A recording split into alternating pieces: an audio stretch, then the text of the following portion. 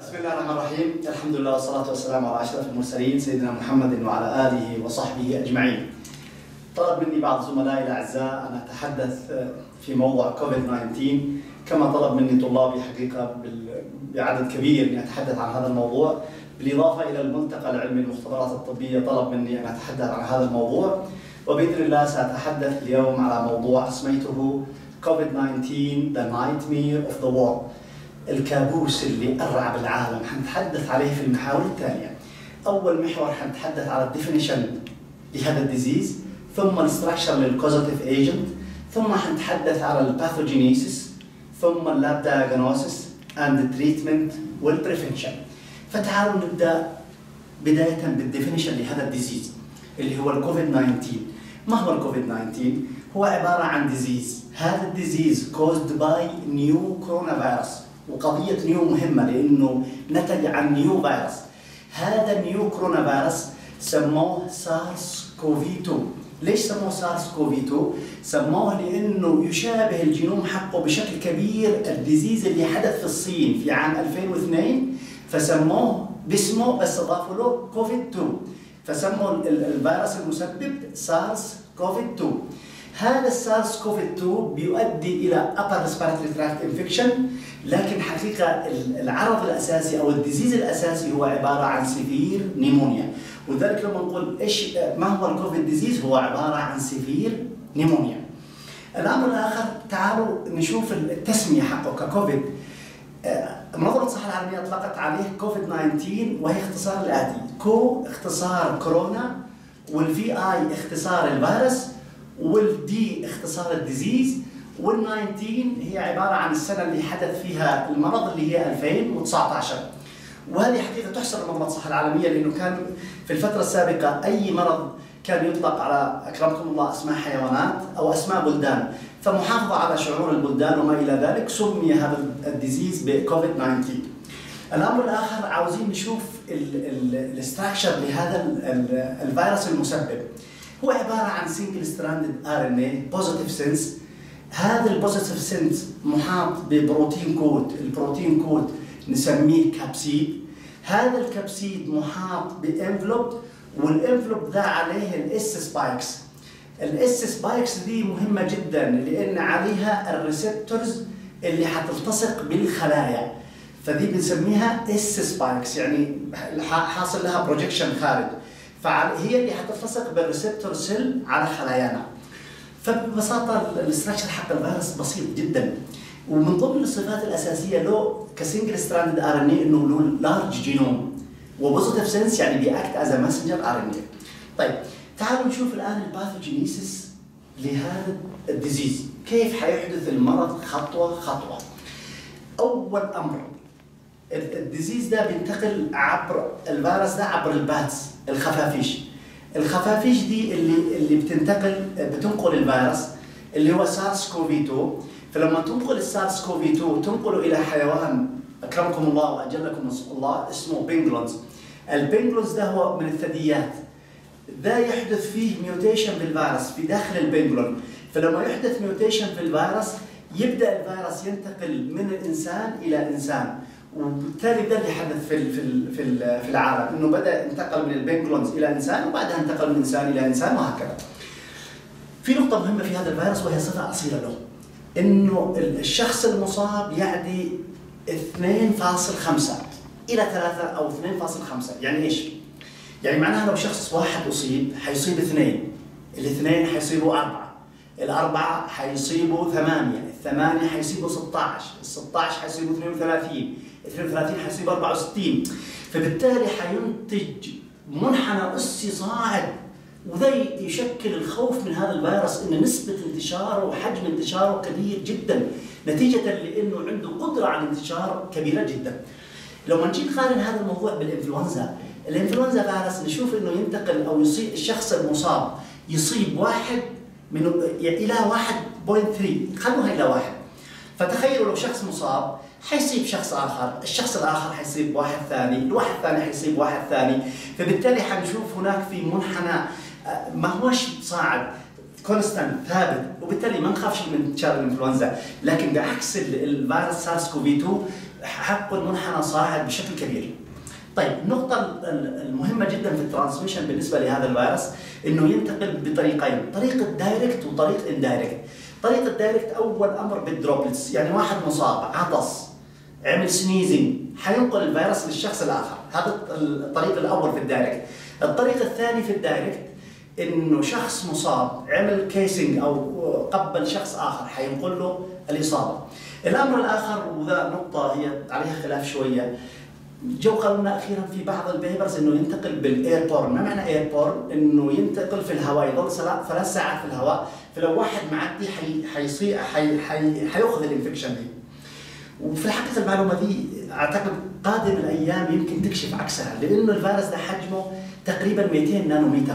ف 200 nanometers حجم بالنسبة لل viruses حجم ثقيل. معناها إنه الفيروس ده أول ما يخرج حيسقط على ال surface وبالتالي مش حيظل معلق في الهواء وبإذن الله قادم الأيام حتوضح لنا هذا الموضوع إن شاء الله بشكل أدق. الأمر الآخر بال indirect transmission وده مهم جدا إنه شخص مصاب عطس في إيده فراح سلم على شخص آخر حينقل له الإصابة عن طريق ال hand contamination. الأمر الآخر كمان شخص مصاب وبالتالي لمس تلفون مسك السلم مسك العربيات اللي في السوبر ماركت مسك اشتغل على ال keyboard جاء واحد بعده أخذ ال infection وأخذ الإصابة. الأمر الآخر وده أمر كمان مهم. كيف حيحصل حيحصل ال pathogenesis الآن؟ خطوة خطوة. الآن حيحصل إنه الفيروس ده حينتقل على طول بال droplets أو بالطرق اللي قلناها حيوصل لل nasopharynx. لما يوصل لل nasopharynx حيبدأ يحصل له multiplication وحينتج أول عرض اللي هو في sore throat. النقطة الثانية وهذه مهمة حقيقة وفي papers كثيرة أكدت عليها. إنه الأشخاص اللي حيتعرضوا للفيروس عدد كبير منهم حيحصل له loss of smelling حيفقد حاسية الشم بشكل مؤقت وذي عرض اكتشفوا إنه في كثير من الناس يحدث عندهم. الأمر الآخر إنه هذا ال disease أول ما تدخل الإصابة أول ما يدخل الفيروس في incubation period يعني من دخول الفيروس لين ظهور الأعراض هذه تتراوح من من من البداية إلى أربع أيام يعني من من اليوم لو قدر الله شخص أصيب قدامه أربع أيام أو من اليوم إلى 14 يوم. ذاك المتوسط العام. قد تزيد الحالة لكن بشكل عام إلى 14 يوم. لو شخص تعرض لل infection بعد 14 يوم حتظهر عليه اعراض الفيروس. طيب النقطة المهمة جدا. الآن الفيروس موجود في ال nasopharynx. ال nasopharynx حيروح لل lung الفيروس ده عنده قدرة أو حب كبير للحويصلات الهوائية اللي نسميها alveoli. حيغادر من ال nasopharynx إلى ال lung وفي ال lung حيصيب ال alveoli ومتيم بهذه ال alveoli وحيعمل ال infection تعالوا الآن نشوف بالتفصيل إيش حيحدث في الحويصلات الهوائية أو في ال alveoli الأمر الأول هذه قدامكم الآن ال alveoli ال alveoli فيها الآتي، أول وظيفتها زي ما أنتم عارفين إنه الأكسجين بينقل عبر الدم وثاني أكسيد الكربون يطلع. فتبادل ال gas exchange بين الأكسجين وثاني اكسيد الكربون. ال alveoli دي في معها cells. أول نوع من ال cells نسميه type 1 cell ودي مسؤوله عن ال gas exchange والنوع الثاني من الخلايا نسميها type 2 pneumocyte أو يسموها type 2 alveolar cell. هذه لها وظيفة مهمة إنها تمنع ال alveolar collapse ما تخليش ال alveolar يحصل لها collapse طيب الأمر المهم إنه على type 2 cell اللي سميناها type 2 pneumocyte أو type 2 alveolar cell عليها receptors مهم جدا نسميه angiotensin converting enzyme الفيروس له قدرة كبيرة إنه يلتصق بهذا ال receptor اللي اسمه ال angiotensin converting enzyme تعالوا نشوف نكبر هذا المنظر ونشوف إيش اللي حيحصل. الآتي هذه قدامكم الآن ال alveolar cell وكيف كبرنا ال type 2 cell وال receptors اللي قلنا عليه اللي هو ال angiotensin converting enzyme حيجي الفيروس زي ما أنتم شايفين حيلتصق على ال angiotensin converting enzyme وحيحصل لأنه envelope حيحصل fusion مع ال cell membrane وبعدها حيدخل الفيروس وحيخرج ال nucleic acid أو الجينوم حق الفيروس إلى السيتوبلازم. زي ما اتفقنا إن هذا الفيروس أو هذا الجينوم أو ال nucleic acid هو عبارة عن positive sense ولأنه positive sense على طول حيروح للرايبوسوم وحيحصل له translation. لما يحصل له translation حيترجم إلى polyprotein ودي صفة أصيلة بال viruses إنه يطلع حجم البروتين كلهم مرتبطين مع بعض لابد هذه البروتينات تقسم فيجي إنزيم اسمه protease enzyme يعمل fragmentation لهذه ال polyproteins ليش؟ لأنه ال polyproteins دي بتحتوي مكونات الفيروس زي ال spikes زي ال capsid كل محتويات الفيروس. فحتتكون حيترجم إلى محتويات الفيروس بفعل ال protease اللي عمل cleavage لل polyproteins هذه نقطة مهمة. النقطة الثانية الآن عاوزين نكثر ال nucleic acid حق الفيروس. فحيجي انزيم اسمه ار ان اي ديبندنت ار ان اي بوليمريز حيروح يمسك ال positive sense ويحوله إلى complementary لو نسميه negative sense لما يحوله إلى complementary لو اسمه negative sense حيخليه as template وبالتالي هذا نفس الإنزيم اللي هو ار ان اي ديبندنت ار ان اي بوليمريز حيشتغل على هذا ال template ك negative sense ويبني positive sense فحيطلع positive sense positive sense positive sense فحتكون عدد كبير من ال nucleic acid كلهم positive sense الآن كل مكونات الفيروس حصل لها حصل لها formation حيبدأ الآن يحصل expression أو راح يحصل إنه releasing على ال surface ال spikes فحتبدأ ال spikes دي تظهر على ال surface اللي هي حق ال envelope حق الفيروس. وبالتالي حيحصل assembly لهذا الفيروس. كل المكونات حيتجمع ال capsid وال nucleic acid وبالتالي حيطلع الفيروس ده بال budding لما يطلع الفيروس ده بال budding يفترض ما يحصلش lysis للخليه لكن لأنه حجم ال replication اللي حصل للفيروس كبير جدا فحيطلع تخيلوا فيروس من هنا بال budding وفيروس من هنا بال budding وفيروس من هنا بال budding فحيحصل rupture لهذه الخلية ويحصل destruction هذا بالنسبة كيف حيحصل destruction لل type 2 cell اللي في الايفلايت طيب جميل جدا. الآن حصل destruction لهذه ال type 2 cell لما حصل destruction لهذه ال type 2 cell بدأت الآن جت ال macrophage لأنه حصل inflammatory response هنا. فلما جت ال macrophage طلعت cytokines ال cytokines دي اسمها interleukin 1 ال interleukin 6 tumor necrotic factor alpha هذه ال cytokines لها دور كبير جدا. إيش اللي بتعمله؟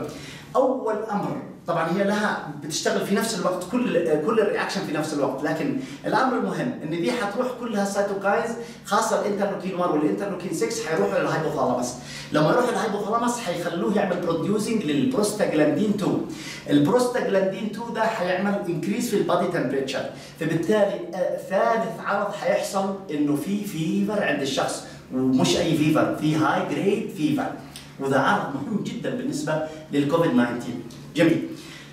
الآن حصل إنه type 2 زي ما قلنا حصل لها destruction لما حصل type 2 destruction لها اللي قلنا عليها type 2 cell اللي سميناها pneumocyte أو سميناها type 2 alveolar cell لما حصل لها destruction الآن حيحصل increase في ال في ال permeability ليش حيحصل increase في ال permeability مش اتفقنا إن في capillary bloods اللي محيطة بال محيطة بال alveoli الآن ال cytokines اللي طلعت وخاصة ال tumor necrotic factor alpha حتعمل increase في ال permeability فلما تعمل انكريس في البرميبيليتي حيزيد ال fluids حيحصل leakage لل fluids من ال من ال من ال capillaries blood فلما يحصل leakage لها حتتجمع ال fluid حوالين ال alveoli وداخل ال alveoli هذا العرض أو هذا ال increase في ال permeability حيؤدي إلى إنه يحصل alveolar collapse ليش حصل alveolar collapse؟ لسببين، اللي تجمع ال fluid زي ما قلنا، والسبب اللي قبله لأنه حصل destruction ل type 2 cell، ال type 2 pneumocytes، وإحنا قلنا الهدف من ال type 2 cell أو ال type 2 pneumocytes الهدف منها إنها بتحافظ ما يحصلش لخلايا ال alveolar يحصل لها collapse، فحصل لهذين السببين حصل إنه ال alveolar collapse، لما يحصل ال alveolar collapse بالتأكيد حيحصل decrease في ال gas exchange، لما يحصل decrease في ال gas exchange حيحصل عرض مهم جدا نسميه hypoxemia، ما معنى hypoxemia؟ إنه قل الأكسجين في ال blood، ما عاد فيش أكسجين في ال blood. حيؤدي هذا إلى عرض مهم جدا وهو العرض الرابع shortness في ال breathing، فالمريض ده حيكون عنده في shortness في ال breathing. النقطة اللي بعدها ودي نقطة مهمة جدا. إنه أثناء ال inflammatory response اللي حصلت وأثناء ال permeability اللي حدثت حيحصل إن ال neutrophil حتصل إلى موقع الحدث لما تيجي ال neutrophil حت... حتعمل اللي معاها reactive enzyme ومعها protease فح لها دور إنها تعمل eradicated للفيروس وتعمل destroyed للفيروس.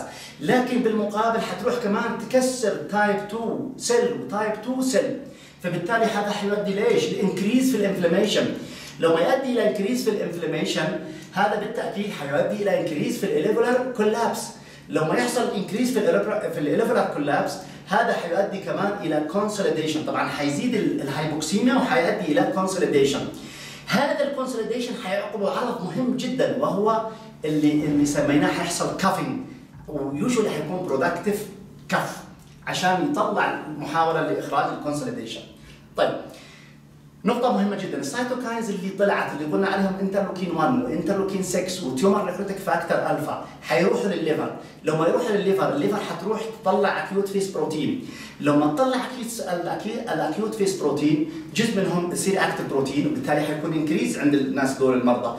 بالإضافة إلى ال fibrinogen بالإضافة إلى ال interleukin 6 ال interleukin 6 إذا لاحظوا إنه حيكون releasing من ال liver وكمان releasing من ال macrophages ال fibrinogen اللي حصل له increase حيؤدي إلى increase في ال ESR فبالتالي المريض ده لما نعمل له CBC أو نعمل له كمان ال ESR حيطلع ال ESR increase ده الأمر المهم. طيب الآن إحنا قبل شوية قلنا إنه حيحصل hypoxemia إنه حيحصل decrease في ال blood في الأكسجين في ال blood. هذا حينتج عنه إيش؟ حينتج عنه إنه حيعطي إشارة إلى ال sympathetic nervous system فبالتالي حيؤدي إلى increase في ال heart rate و increase في ال respiratory rate فالبيشنت ده عنده انكريز في الهارت ريت وانكريز كمان في الريسبيراتوري ريت في نقطة مهمة الآن عاوزين نركز عليها. إنه الآن الفيروس موجود في ال lung الفيروس ده بعد ال inflammations دي حيغادر إلى ال blood وبالتالي حيكون هناك في viremia لما يغادر ال blood ويكون هناك في viremia ده حيؤدي إلى إنه في نفس ال receptors اللي قلنا عليها ال angiotensin converting enzyme 2 موجود على ال heart وموجود على ال renal وموجود على ال GIT بالتالي إيش اللي حيحصل؟ حيحصل إنه عاصفة من ال cytokines نسميها cytokines storm، ليش؟ لأنه في كل ال organs دي ال macrophage حتطلع cytokines وهنا حتطلع cytokines وهنا حتطلع cytokines فحتكون في كمية cytokines بنسبة كبيرة يسموها ال cytokines storm يعني عاصفة ال cytokines هذا حيؤدي إلى إيش؟ حيؤدي إلى increase في ال vasodilatation فبالتالي generalized حيكون في increase في ال vasodilatation لما يكون في increase في ال vasodilatation ده حيؤدي إلى decrease في ال blood pressure فلما يحصل decrease في ال blood pressure بالتأكيد حيحصل ما نسميه بال multi system organ failures وبالتالي حيحصل shock والمريض ده حيكون قد يؤدي إلى ال death. طيب في نقطة مهمة جدا في بعض جاءت بعض ال paper تقول إنه ينتقل بال fecal oral route ولذلك أنا حطرح وجهة نظر قد تكون مختلفة شوية. الآن إحنا اتفقنا إن الفيروس ده موجود في ال blood وقلنا عليه viremia. الآن من ال blood ده حيروح الفيروس إلى ال intestine لما يروح إلى ال intestine حيعمل gastroenteritis وبالتالي حيعقبها إنه في عنده diarrhea هذه ال diarrhea حتكون الفيروس موجود في ال diarrhea وبالتالي الشخص لو لو حصل عنده diarrhea ودخل التواليت حيكون الفيروس موجود contamination في ال hand حقه. فبالتالي لو سلم على شخص أو لمس سطح سطح معين حينقل هذا الفيروس. لو جاء شخص آخر حيأخذ الفيروس ده وحيؤدي إلى transmission لكن عن طريق ال respiratory وبالتالي نجي نقول للناس صعب إنه ينتقل بال fecal oral route لأنه لو انتقل بال fecal oral route حيوصل لل stomach، ال stomach محرقه محرقه الاتش سي ال حتكسر هذا الفيروس على اعتبار إنه envelope فمن هنا نجي نقول هذا إن شاء الله قادم الأيام أعتقد حيكون فيها توضيح بشكل كبير يعني. لكن لأنه كثير من ال من ال من الزملاء أو أحيانا بتشوف في paper انه يقول لك انتقل بال fecal oral route. نقول لهم بهذا الطريق اللي قلناه الامر الآخر ال immune system حقيقة بيوفر كم ال immune system قادر إنه يتغلب. كيف يتغلب ال immune system حيتغلب ال immune system إنه انترفيرون يعني الخلية المصابة حتطلع interferon ال interferon حيمنع الخلايا الثانية إنها تصاب. الأمر الآخر ال neutrophils كمان حيكون لها دور. الأمر الآخر كمان natural killer حيكون لها دور. دي كلها ك innate immunity كمان في دور لل specific immunity وأهم دور للخلية المهمة جدا في ال cell mediated immunity نسميها T cytotoxic T cell دي حتروح تعمل destruction لأي بروتين مرتبط على MHC class 1 ك foreign protein بالإضافة إلى ال antibodies ال antibodies لها دور كبير. صحيح دور هو extra بمعنى إنها ال antibodies اللي حتكون موجودة حتعمل neutralization مش حتخلي الفيروس ده يلتصق على ال specific receptors لها وفي لها other functions فبالتالي الناس اللي مناعتهم كويسة غالبا حيتغلبوا على هذا الفيروس الآن ننتقل إلى موضوع مهم اللي هو ال lab diagnosis كيف نعمل lab diagnosis لهذا الفيروس ال lab diagnosis في نقاط مهمة لابد نتفق عليها. أول أمر لابد clinical manifestation تكون حاضرة امامنا. الأمر الآخر لابد نعمل CBC لل patients ده. النقطة الثالثة لابد نشوف ال inflammatory test. الأمر الآخر لابد نشوف نعمل imaging اللي عبر ال radiology. الامر الآخر لابد نشوف ال molecular test عبر ال PCR أو ال real time PCR والنقطة الأخيرة لابد نشوف ال serological test فتعالوا نمسكهم واحدة واحدة. طيب في نقطة مهمة جدا. ساعات يفضلوا الناس إنهم أساسا يعملوا اكسكلود للاتش 1 ان 1 بالار تي بي سي ار عبر ال real time PCR نعمل exclude عشان نطمن إن الإصابة ما هياش H1N1 وذي يوصى بها إذا كان الأمور متاحة. الآن تعالوا نشوف ال clinical manifestation واتفقنا عليهم وتكلمنا عليهم بالتفصيل. لابد الشخص ده حيكون عنده sore throat حيكون عنده ال loss of smelling إنه فقد حساسيه الشم بشكل مؤقت. الأمر الآخر ال fever وال fever زي ما قلنا high grade الأمر الآخر حيكون في cough. الأمر الآخر في shortness في ال breath في ال breathing بالإضافة إنه ممكن يكون في diarrhea فال manifestation شيء مهم جدا أو ال clinical manifestation مهمة جدا في التشخيص. الأمر الآخر نعمل CBC في ال CBC حنشوف إن الشخص ده عنده ال lymphopenia يعني decrease في ال lymphocyte وحقيقة دي usually حتكون في ال late stage ما هيش في ال early stage يعني ممكن في ال early stage تعمل للشخص يطلع ال lymphocyte حقه طبيعية. ففي usually بتكون في ال في ال late stage حتكون في decrease في ال lymphopenia الأمر الآخر ال inflammatory test حقيقة نوصي بالاتي ال C-reactive protein حيكون بالتأكيد increase ال ESR حيكون increase ال interleukin 6 حيكون increase في other inflammatory markers ممكن تتعمل اللي هو D-dimer وال lactic dehydrogenase بالإضافة إلى الفيريتين ساعات يسألون الناس لما نقول لهم فيريتين يقولوا إيش دخل الفيريتين؟ نقول لهم الفيريتين أساسا هو stored في الخلايا. فلو ما يحصل إنه في inflammation حيحصل damage في الخلايا. فبالتالي لما يحصل damage في الخلايا حيخرج الفيريتين وحيكون في increase طبعا كلهم دي ك inflammatory response ممكن تتعمل لكن إحنا إلى حد ما نوصي بإنه الثلاثة الأولين اللي هو C-reactive protein ال ESR ال interleukin 6 ك indication إن في inflammation وهم طبعا non specific لكن حيساعدونا مع ال clinical manifestation ومع ال other اللي حنتكلم عليهم. طيب نقطة مهمة جدا ال imaging ال radiology نوصي بأنه تتعمل chest X-ray وتتعمل CT scan ونشوف ال consolidations وذي زي ما قلنا ال specific ما هيش specific بشكل كبير لكن حتساعدنا في التشخيص مع البقية. الأمر الآخر اللي هو ال molecular test وطبعا هنا ال RT PCR عبر ال real time PCR هو ال confirmatory test اللي مفروض نتأكد بها إن الشخص ده عنده الفيروس وبالتالي عنده ال disease اللي هو الكوفيد 19 الأمر الآخر إنه اللي نزل حديثا اللي هو يسموه ال ID NOW اللي نزلته شركة ابوت اللي شكل مذهل وتغير حتى فكر ال PCR اللي كنا نتكلم عليه. لأنه فكر ال PCR اللي نتكلم عليه أو ال real time PCR اللي نتكلم عليه معتمد على ال temperature يعني إحنا نعمل نرفع درجه الحراره 94 درجة مئوية عشان نعمل denaturation ننزلها 50 55 درجة مئوية عشان نعمل annealing نطلعها 72 درجة مئوية عشان نعمل extension الآن ما عاد في الموضوع ده خالص. بيشتغل بتكنيك بنسميه ال isothermal. مع درجة الحرارة ثابتة من 60 ل 65 درجة مئوية. وهذا ال techniques بيكشف على two genes الجين الأول ال E gene اللي هو ال envelope والجين الثاني اللي هو ال RNA dependent RNA polymerase اللي هو المسؤول عن ال replication وبيجيب complementary target لهم مربوط بال probe. فبالتالي يحصل high replication يحصل high multiplication وال probe ده يقرأ عبر الجهاز ويطلع النتيجة خلال خمس دقائق. فخمس دقائق يطلع لك الشخص ده positive or negative كحد أقصى ممكن تصل إلى 13 أو 15 دقيقة. طيب الأمر الآخر اللي هو ال serological test و usually بيكون الاي جي ام والاي جي جي لكن هنا نقطة مهمة جدا. تخيلوا ذول ال markers مش حيظهروا إلا بعد 7 days من ظهور ال symptoms فبالتالي مش حينفعونا خالص في ال early لكن حينفعونا فيما بعد إنه لما تظهر ال infection ممكن نعمل بعد 7 days أو 10 days نعمل IgM marker أو الاي جي جي عشان نتأكد إنه الشخص ده ممكن يحصل عنده فيما بعد الإصابة.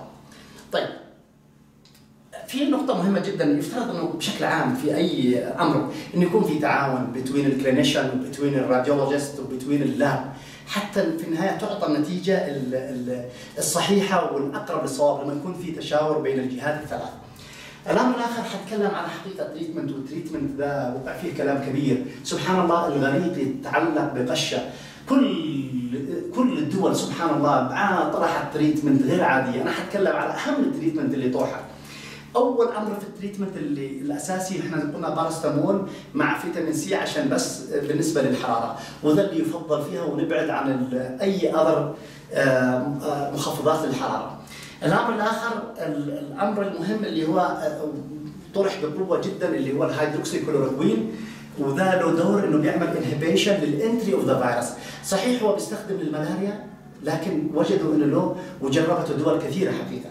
طبعا أضافوا له ازيثرومايسين، إضافة الازيثرومايسين هنا ليس للفيروس ولكن الشخص اللي مصاب بالفيروس قد يكون predisposing إنه يحصل له bacterial infection فبالتالي أدخلوا الازيثرومايسين معاه عشان يمنع ال bacterial infection وليس له علاقة بالفيروس. هذا العلاج الأول اللي بدأ.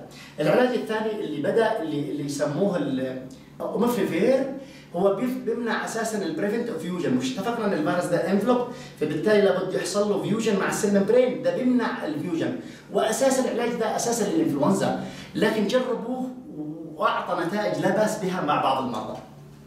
الأمر الآخر العلاج الآخر يسموه ال remdesivir ال remdesivir ده بيعمل block لل RNA dependent RNA polymerase زي ما أنتم شايفين مش قلنا إنه في nucleic acid positive sense وبالتالي يجي الإنزيم ده اسمه ار ان اي ديبندنت ار ان اي بوليمريز وبالتالي هذا الإنزيم حيعمل template أو complementary اللي هو ال negative sense وحيأخذه كقالب يبني عليه اللي هو ال RNA dependent RNA polymerase وبالتالي حيطلع many many copies of nucleic acid فبالتالي لو عملنا block لل RNA dependent RNA polymerase حيختفي تماما ال replication للفيروس أساسا الريدمسفير هو بيستخدم لل Ebola virus. جربوه وعلى فكرة لا زالت في كل الأدوية لا زالت الدراسات مستمرة فيها. الأمر الآخر حقيقة اللي يستخدم ال favipiravir وكمان بيعمل نفس الأكشن اللي هو block ال RNA dependent RNA polymerase زي ما قلنا بيعمل عملية ال replication فلو ما نعمل block لل RNA dependent RNA polymerase مش حيحصل هناك replication للفيروس وحنستطيع نتغلب عليه.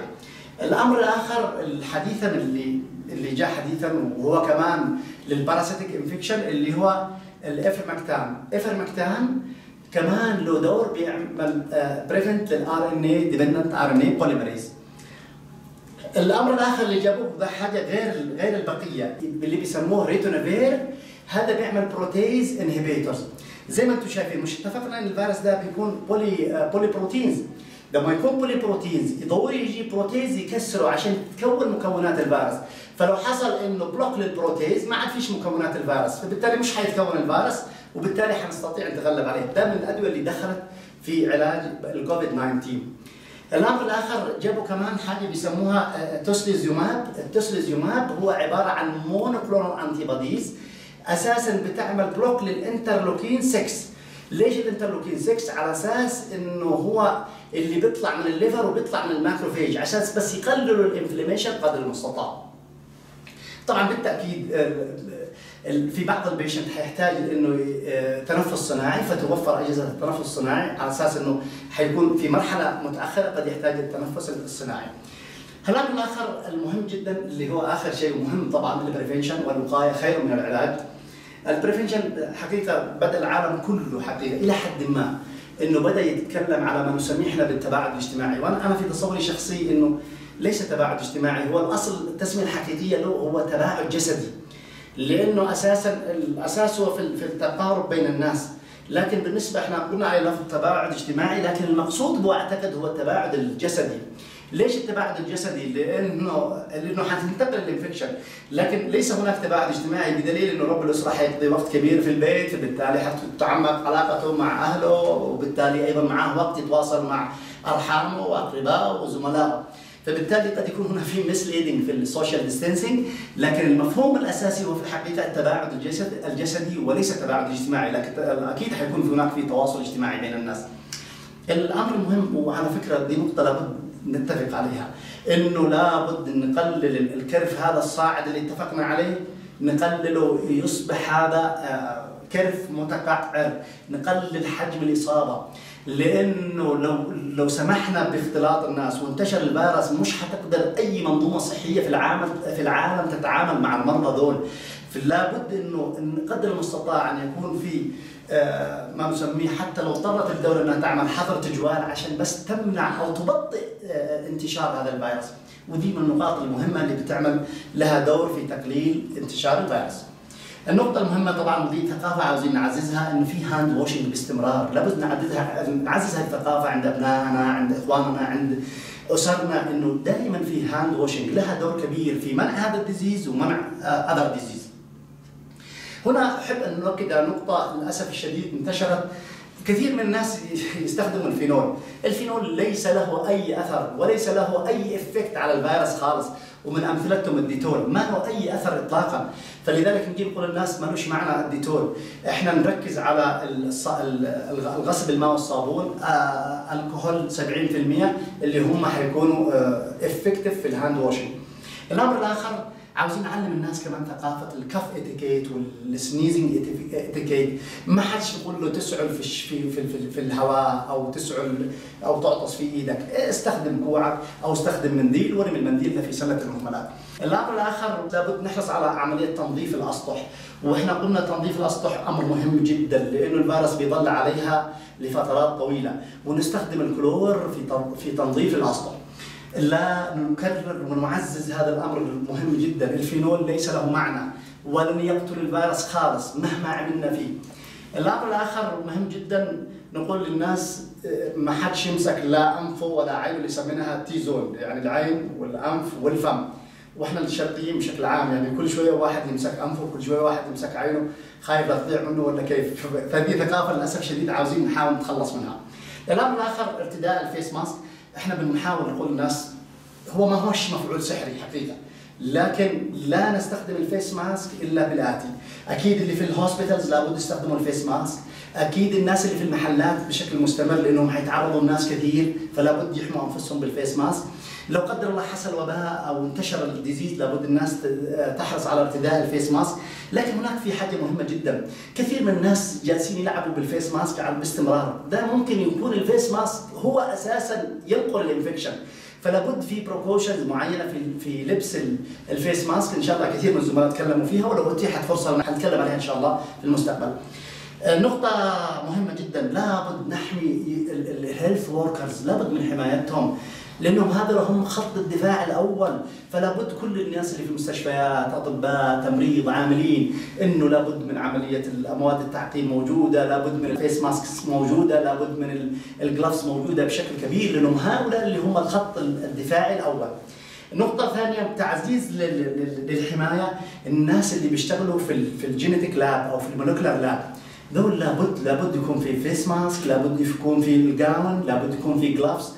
لابد يكون في ال eye protect لابد مبدأ الحماية هنا لابد أن يعزز بشكل كبير لانهم بيتعاملوا مع الفيروس ده بشكل direct هذه الأشياء الأساسية اللي حقيقة طرحت حبيت اني أضعها لجميع الزملاء وجميع طلابنا. وفي النهاية أجي أقول إنه نقطة مهمة جدا قبل أن أختم هذا الموضوع. سبحان الله الله عز وجل نزل البلاء حتى الناس تتضرع له وتعود الناس إلى الله عز وجل. ولذلك نقطة مهمة في مثل هذا البلاء لابد الناس تلجا إلى الله عز وجل وتتضرع له بالدعاء وبالتوبة وبالإنابة بأن يرفع الله عز وجل هذا البلاء عنا وعن الأمة وعن العالم كله. أسأل الله عز وجل أنه يحفظ اليمن واليمنيين وسائر البلدان وشكرا جزيلا لكم.